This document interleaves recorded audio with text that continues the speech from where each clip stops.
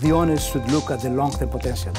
It looks much better if somebody is occupying the place rather than having an empty place. In our case, we have our store empty for six months, and on purpose we had that because we could not find tenants that will appear to be reliable and successful in the long run.